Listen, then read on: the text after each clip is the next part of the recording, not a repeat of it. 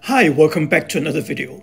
We all know that to build muscle, we need protein. But to maximize protein muscle building benefits, there's a lot more than just slamming a protein shake after every workout. In this video, I will share with you the latest science on the best protein sources, how much protein you really need, and how your protein intake should change with age, how to consume it, and should you care about post-workout protein to maximize muscle growth. But before we go any further, could I ask you for a small favor by hitting the like button, subscribe and sharing your thoughts or feedbacks in the comments below. Thank you. So let's start with protein type. So there are two factors scientists use to rank how effective a protein source will be at building muscle. The first is digestibility. The higher the score means that there are more of that protein can be broken down and used to build muscle. Second, every protein source contains a variety of different amino acids, which are the building blocks of protein.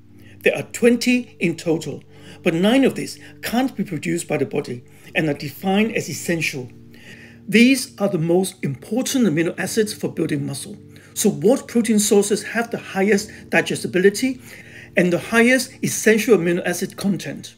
Well, it's typically the protein sources you would expect from protein powder, meat, fish, and dairy products. Human muscle also score pretty high. Oh, but don't get any weird ideas. Plant-based protein don't score very well, but we will discuss what this means for us later on. Now, here is some new research suggesting that digestibility and amino acid content may not be all we should consider. Take a look at this study back in 2017.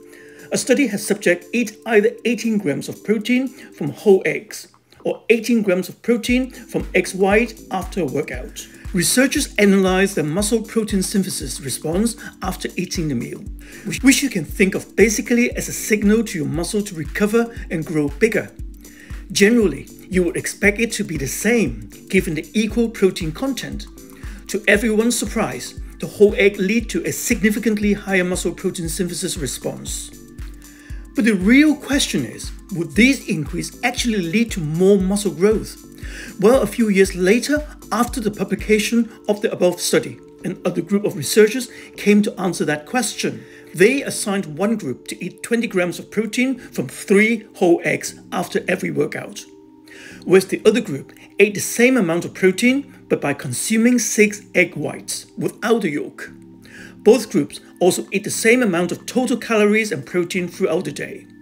Now, after 12 weeks, the whole egg group increased their strength and reduced their body fat percentage to a significantly greater extent than egg white group. There's also a strong trend towards a greater increase in lean body mass in the whole egg group. And although it is unclear what made whole eggs superior, it may be linked to the cholesterol content and possibly some additional nutrients contained within the yolk.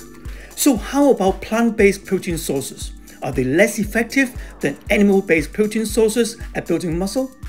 Well, the answer might surprise you. Remember how the plant-based protein sources rank relatively poorly when it comes to digestibility and essential amino acid content. Because of this, they tend to result in a lower protein synthesis response when compared to animal-based protein sources. But protein synthesis does not always correlate well with changes in muscle growth.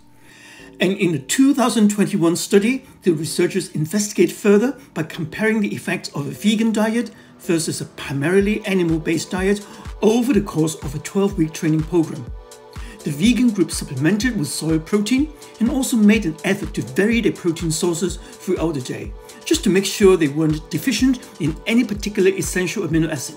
Surprisingly, both diets led to similar increases in both muscle size and strength. And this same result was shown in a similar study published in 2023.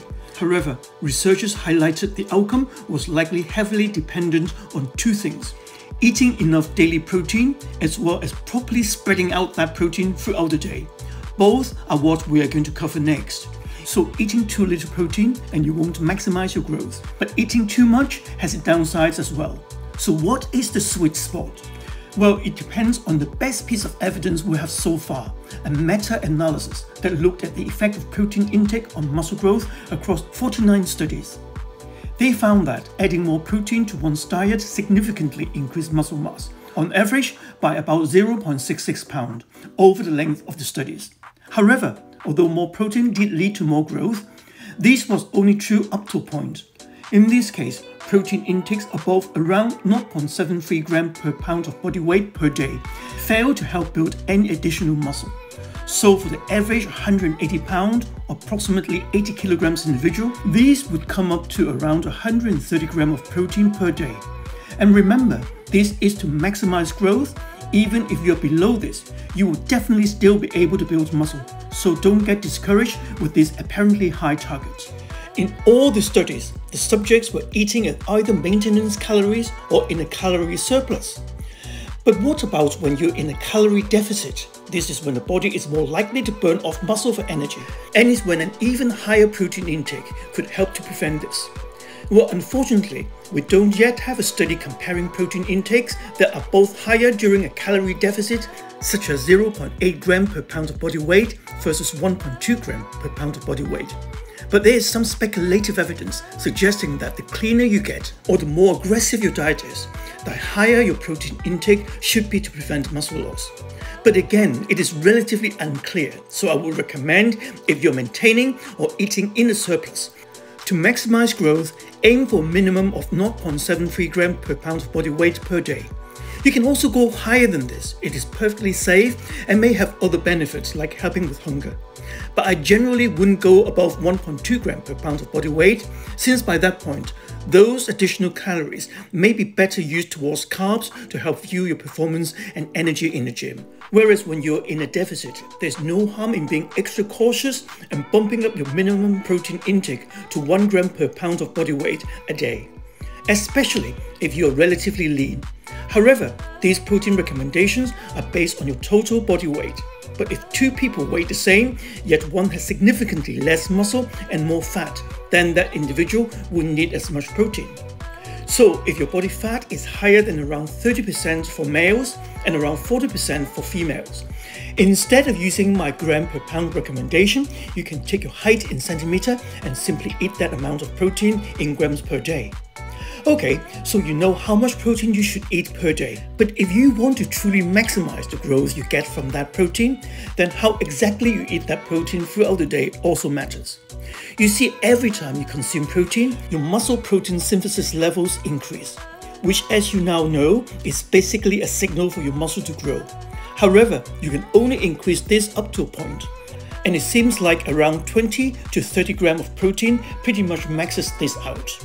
In addition to this, after this increase, there's some evidence that you won't be able to re-stimulate it again for at least a couple of hours. And this is where protein distribution comes into play. Theoretically, if you space out your protein evenly throughout the day, you will be able to keep your muscle protein synthesis levels elevated and provide a consistent signal for your muscles to grow. But to determine if this actually makes any difference on muscle growth, let's take a look at this study in 2020 subjects were assigned to one of two groups. One had a low protein breakfast, an average protein lunch, and a high protein dinner. The other group had a more even protein distribution across the three meals. Both groups tried to eat a similar amount of total daily protein, but the uneven protein distribution group actually ended up eating about 10 grams more protein per day on average. So, what happened? Well, after 12 weeks of this, combined with the strength training program, the evenly distributed protein group had slightly more favorable strength increases for all five of the exercises tested, and also had slightly more favorable increase in total lean mass. That said, the daily protein intake for both groups were quite low, and the sample size was pretty small for the study.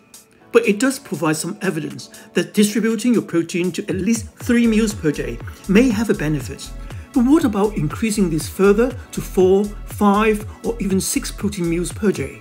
Would that provide an even greater benefit? Well, a study that was published a year after this one helps to provide some insight. Researchers compared the effects of spreading daily protein intake evenly across either 3 or 6 meals per day. Now, after 8 weeks, there were no significant differences in muscle growth or any other measurements recorded.